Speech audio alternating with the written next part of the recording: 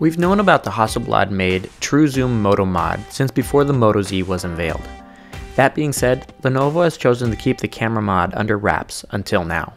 I'm Nick Gray from Phandroid, and this is our hands-on look at the most intriguing Moto mod yet.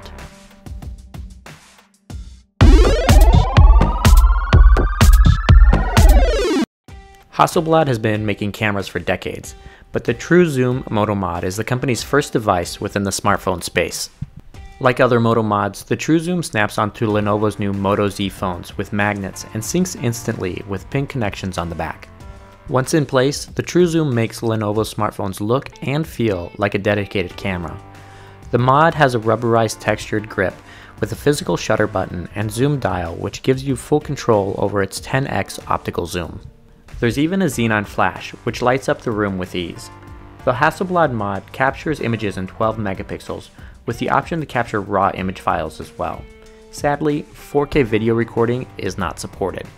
During our hands-on time, we weren't able to capture any sample photos from the True Zoom Moto mod, but we did compare images taken with it with those captured with the Moto Z Play's 16 megapixel main camera.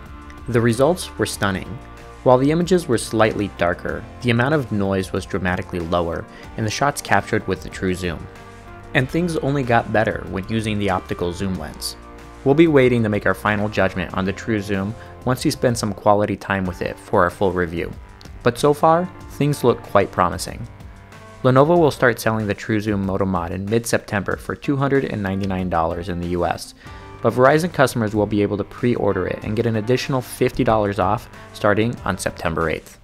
If you want to see more coverage from us from IFA 2016, hit the subscribe button below.